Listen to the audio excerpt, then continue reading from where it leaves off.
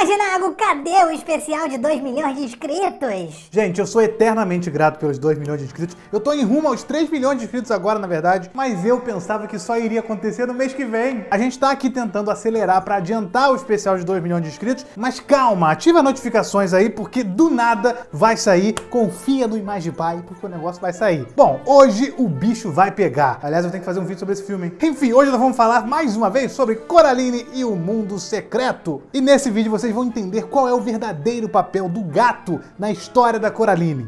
Não, eu não sou outro nada. Eu sou eu. Qual é a dele, afinal de contas? Ele está ajudando ou atrapalhando a vida da Coraline? Muitas teorias foram criadas para tentar explicar qual é a do felino preto, mas nesse vídeo todas as dúvidas vão desaparecer. Talvez eu crie outras dúvidas na sua cabeça, mas isso a gente resolve depois. Mas por que, que a bela dama odeia tanto assim o gato? E trouxe com você esse parasita.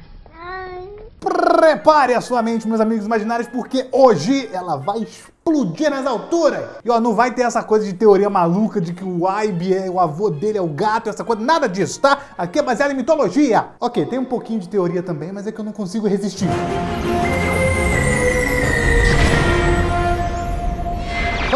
Galera, eu sou o Imaginago e sejam bem-vindos a mais um vídeo. Eu acho que o gato preto é o ser que mais levanta teorias no universo de Coraline. Porque tudo bem, todo mundo sabe que a Bela Dama é a vilã do filme e que ela se alimenta de almas das crianças que dão mole pra ela. Mas e o gato? O gato tá sempre ali, sempre falando de uma maneira macia, suave e com vários duplos sentidos. Não dá pra saber direito o que ele tá pensando quando ele tá falando alguma coisa. No filme ele é assim, mas no livro as coisas são muito mais claras. Mas agora, primeiro, pra gente entender qual é dessa coisa do gato com a bruxa, a gente precisa entrar, mergulhar um pouco na mitologia dos gatos e das bruxas. E com isso a gente vai saber também por que, que a Bela Dama odeia tanto esse bichano. Para isso, por favor, se inscreve nesse canal, vem fazer parte dessa comunidade. Aqui a gente só fala sobre animação, eu tenho certeza que você vai curtir pra caramba, não só os meus vídeos normais, mas também essa série de Coraline que eu tô lançando. E ativa o sininho também, hein? Senão o YouTube não te manda notificação. Tamo junto. Bom, se a gente for para muitos e muitos anos atrás, antes da Idade Média, os gatos eram considerados seres místicos pelos seres humanos. No Egito Antigo, inclusive, as pessoas adoravam os gatos e era extremamente proibido você sequer pensar em maltratar um deles. Caso você fosse pego machucando um gato, a sua sentença seria a morte. Então, na história da humanidade, as pessoas começaram a adorar os gatos e tratá-los como quase deuses, ou literalmente deuses. Só que quando nós chegamos na Idade Média, que foi o momento que as primeiras bruxas começaram a surgir ou serem descobertas, eu tô falando de mitologia aqui, tá? Porque na vida real, qualquer mulher que se interessasse por ciência já era considerada bruxa, então não é desse tipo de coisa. Enfim, as bruxas mitológicas surgiram na Idade Média e colocaram medo em várias pessoas por conta dos seus misticismos. E vocês sabem disso, né? No primeiro vídeo que eu fiz sobre a origem da Bela Dama, eu comentei que Beldam, que é como ela se chama em inglês, significa nada menos do que bruxa em um inglês muito, muito antigo. E por algum motivo, na época da Idade Média, as pessoas associavam os gatos com as bruxas. Ninguém ainda descobriu por que, que as pessoas começaram a conectar esses dois seres. Afinal, esses dois não tinham nenhuma relação um com o outro. Mas isso aconteceu. As pessoas começaram a perseguir e matar gatos, não apenas gatos pretos, porque pensavam que eles eram seres amaldiçoados das bruxas. Ou seja, os gatos, né, durante um tempo aí, passaram de seres divinos para seres das trevas. Mas o filme Coraline pode ter explicado isso pra gente. O livro também, óbvio. Tô falando dos dois ao mesmo tempo aqui. Vamos lá, gente. No livro, o gato ele é bem mais específico na sua abordagem. Apesar dele ter uma metáfora ali ou outra, ele diz pra Coraline coisas muito importantes, tanto sobre ela quanto sobre a Bela Dama. Primeiro, ele praticamente comprova pra gente que a Bela Dama não criou o outro mundo, ela simplesmente se apropriou dele. E isso acontece em uma conversa com a Coraline, quando ela pergunta para ele como ele consegue atravessar para o outro mundo. Ele diz que existem passagens que só ele pode passar e que até a Bela Dama desconhece. Ou seja, isso quer dizer que ela não criou aquele mundo, apenas se apropriou dele e virou a dona. Porque se ela tivesse criado, ela saberia bem quais entradas existiam ali. E o gato, gente, ele não tá ali para proteger a Coraline ou qualquer outra criança que apareça coisa nenhuma. Ele não é um animal reencarnado, muito menos o avô do Aibe. Gente, o Aibe nem existe no livro. O quê?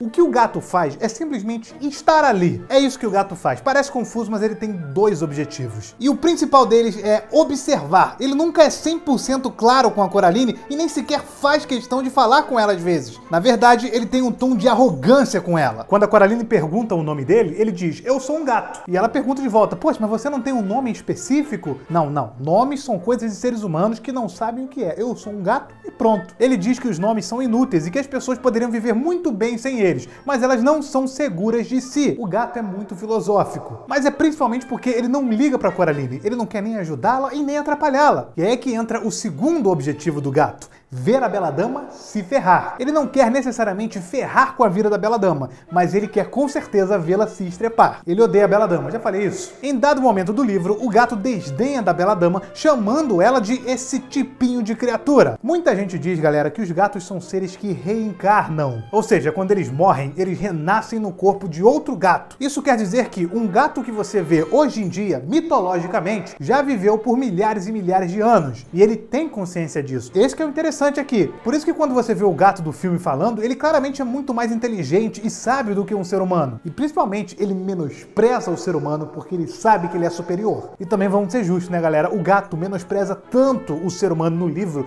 que é muito difícil acreditar que ele tenha sido um ser humano no passado. Não! Mas imaginaram por que, que o gato odeia tanto a Bela Dama assim e ela também odeia ele? Bom, é aí que começa a funcionar a minha mais nova teoria. Galera, os gatos, como eu falei, eram seres extremamente idolatrados e endeusados usados pelos seres humanos. Eles já estavam acostumados a viver como criaturas místicas e amadas pelo homem, nunca foram maltratados. Mas quando as bruxas começaram a se popularizar na Idade Média, esses mesmos gatos começaram a ser perseguidos. Sim, a gente está considerando a teoria de que os gatos, no universo de Coraline, têm a mesma consciência há milênios. Eles foram morrendo e reencarnando, mas as memórias e as consciências foram mantidas. E segundo a mitologia também, os gatos são seres místicos que conseguem enxergar tanto o mundo físico ou seja, o nosso mundo real, como também consegue enxergar o mundo astral, que no caso aí, dependendo da religião, pode ser várias coisas, como céu, inferno, enfim. Na verdade, eles conseguem se teletransportar para lá com facilidade, encontrando buracos no mundo dos humanos que somente os gatos conseguem atravessar. Então é assim que ele consegue ir para o outro mundo, né? Porque o outro mundo ali no universo de Coraline é o mundo astral, né? Tem o mundo físico, que é o normal, e o mundo astral, que é o outro mundo, e os gatos conseguem enxergar buracos ali que somente eles conseguem atravessar para esse mundo astral. Sabe quando seu gato some do nada e você não sabe para onde ele foi, fica em silêncio, sumiu. Ele foi dar uma passadinha ali no outro mundo, rapidinho.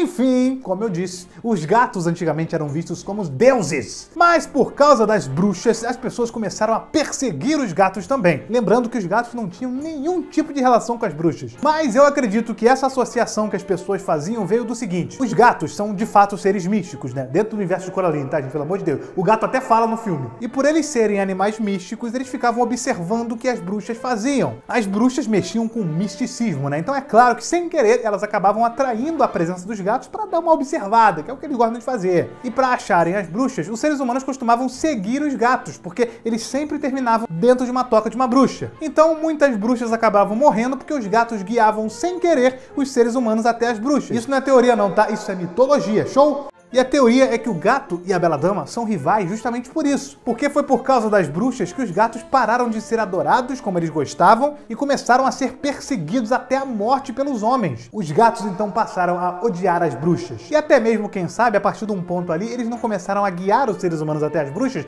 de propósito. É claro, com a finalidade de que as bruxas fossem executadas. Porque tinha isso mesmo. Antigamente as pessoas falavam que se você seguisse um gato, você terminaria na casa de uma bruxa. Mas se fosse de propósito, o tiro na verdade sairia pela culatra, porque depois depois de matar a bruxa, os seres humanos iam lá e matavam o gato. É uma bizarrice. Se os gatos odiavam as bruxas porque elas deram a fama para eles de seres das trevas, as bruxas odiavam os gatos porque eles guiavam os seres humanos para matá-las. E foi aí que essa rivalidade começou teoricamente. Note você aí que a Bela Dama tem vários machucados no rosto e tem umas pernas mecânicas estranhas. Isso porque provavelmente o gato atraiu vários seres humanos até a Bela Dama no passado, isso antes de existir o Palácio Rosa que eu tô falando aqui. E apesar dela possivelmente ter matado todos eles, ela se machucou machucou muito no processo. Então, atualmente, a Bela Dama odeia os gatos pelos ferimentos que ele a fez sofrer meio que indiretamente, e o gato odeia a Bela Dama pela fama de seres das trevas que as bruxas deram para os gatos. E por favor, se você vê um gato na rua, dê carinho para ele, se possível até adote, tira uma foto pra galera adotar, porque o gato é um ser de amor, ele só merece amor. Isso é bobice, isso é mitologia. Pelo amor de Deus, vamos começar a caçar gato aí não. Mas e aí, gente, eu fumei banana nessa teoria aqui? Como é que foi? Eu tentei me basear muito na mitologia real dos gatos das bruxas para fazer esse vídeo. Então comenta aí o que você achou, contribua para essa teoria também, porque eu sempre estou tentando atualizá-la aqui com vocês, tá? Deixa o like no vídeo também, porque isso é muito importante, vocês sabem. Tamo junto e fui!